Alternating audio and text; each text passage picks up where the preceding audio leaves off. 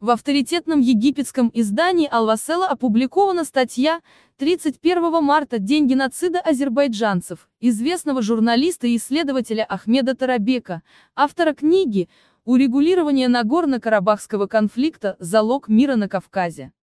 Как сообщает Азертадж, в статье подробно рассказывается о войнах между царской Россией и Персидской империей, разделении территории Азербайджана на две части в результате Гюлистанского и Туркменчайского договоров. Возникновении надуманной идеи о Великой Армении, геноцидах, учиненных армянами против азербайджанского народа в 1905-1907 годах, а также событиях, произошедших в конце Первой мировой войны, и геноциде азербайджанцев в Баку и других регионах в 1918 году. Автор подчеркивает, что современное армянское государство создано именно на исторических землях Азербайджана. В статье подробно рассказывается о политике этнической чистки, проводимой армянскими националистами на исторических азербайджанских землях. Уничтожении древних памятников исламской культуры, разрушении городов и других фактах вандализма.